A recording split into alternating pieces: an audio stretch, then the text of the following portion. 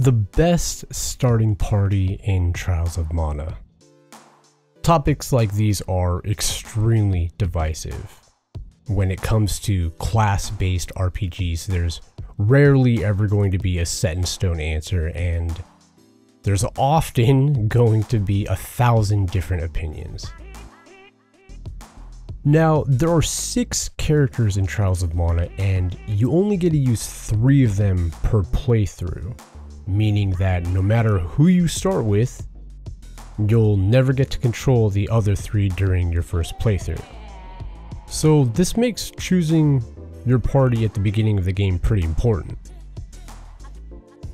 This video is going to give you information in picking out an excellent party throughout your first playthrough in Trials of Mana. So this video is going to be broken up into a couple different pieces. If you just want my recommendations for a strong team, skip to this timestamp because before I actually give any recommendations, there are people out there that actually want to understand why they're choosing specific characters. So I'll be going into all of that right now. Before even talking about party composition and who you should use, we need to talk first about two topics. Character roles and classes. The difficult part is that the two are very intertwined and it's near impossible to speak about one without talking about the other. About 8 to 10 hours into the game, you're going to get the ability to pick classes for your team. The class that you pick will greatly influence what role the character will have on your team. But for now, let's just keep things simple and look at primary roles for the characters at the start of the game. Duran is your tank. At the very beginning of the game, he has access to Provoke, which no one has access to this skill but him. So he'll be drawing enemy attention towards himself while your other party members get the space to breathe and do what they do best. Angela is your mage. She's the worst physical damage output in the game, but hits really hard with her spells. Kevin is your melee powerhouse. He's the strongest physical damage in the game. Charlotte is good at healing and pretty much nothing else.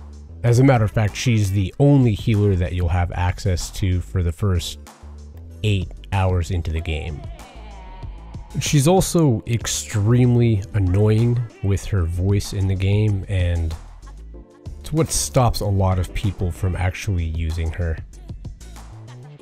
Riesz and Hawkeye are both jack of all trade type of characters. They have good damage output, but they mainly shine through their class upgrades later on in the game.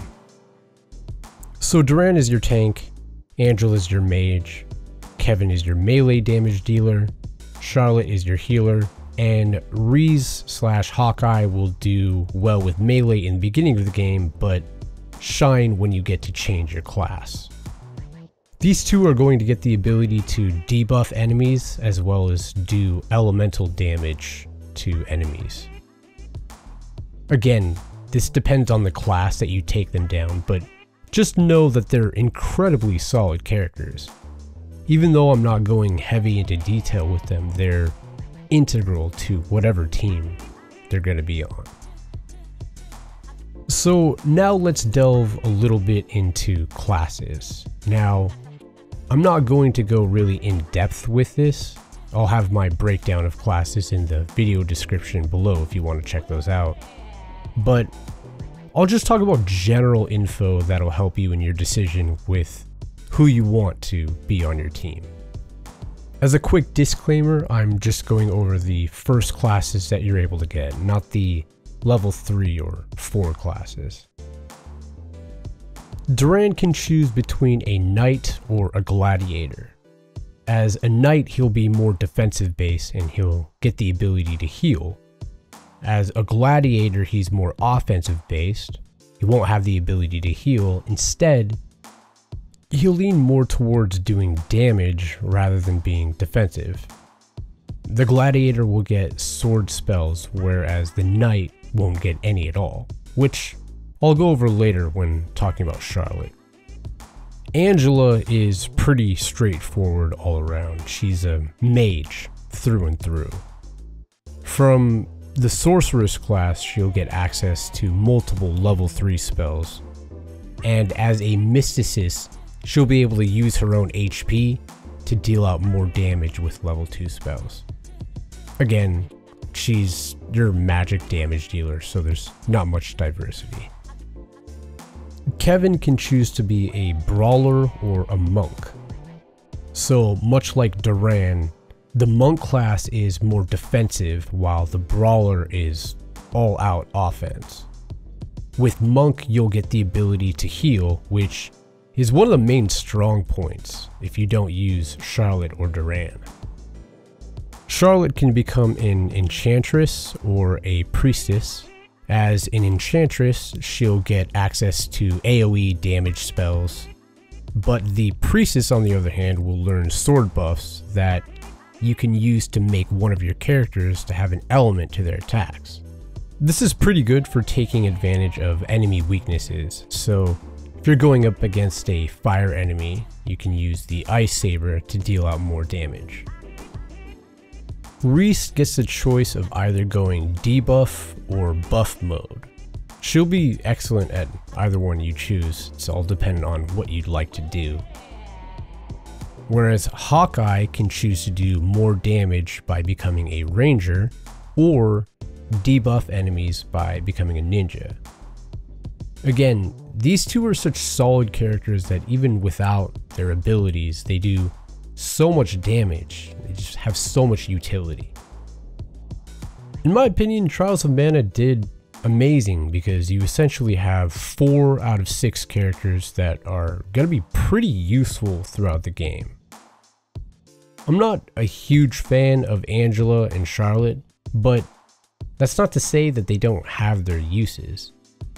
I personally use Charlotte in my own party just because of the fact that she's so good at healing and the sword buffs are really helpful.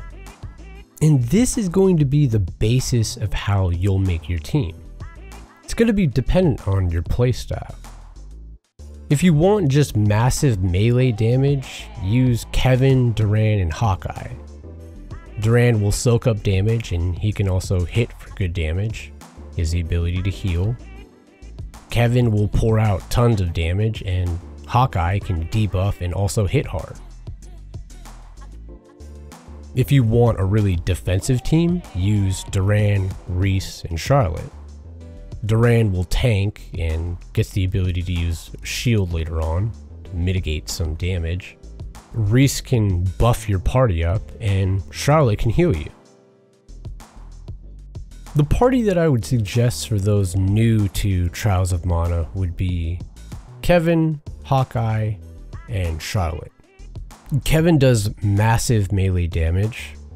Hawkeye gets the ability to use debuffs and elemental spells, and Charlotte heals you. So you're essentially covering all your bases here. If you don't like Charlotte, replace her with literally anybody else. You can always make Kevin a monk to heal up and have debuff elemental damage from Hawkeye. I'm a real big fan of those two. They're really, really good. I think they're the best in the game. The point of the matter is you want to just cover all your bases. Healing, melee damage, elemental damage, and debuffing. One final suggestion of a team I really like is Hawkeye, Kevin, and Duran. Duran gets Provoke, while Hawkeye gets Enigma. So basically, Duran pulls enemies to him, and Hawkeye gets enemies off of him, leading for lots of crits from Hawkeye and even Kevin in beast mode. Just tons of damage and potential here. Really good synergy. Hopefully this guide gives a little bit of direction in creating your team. If you found the video helpful, a like or a comment is always really appreciated. Helps support the channel and gives me that motivation just to create more guides.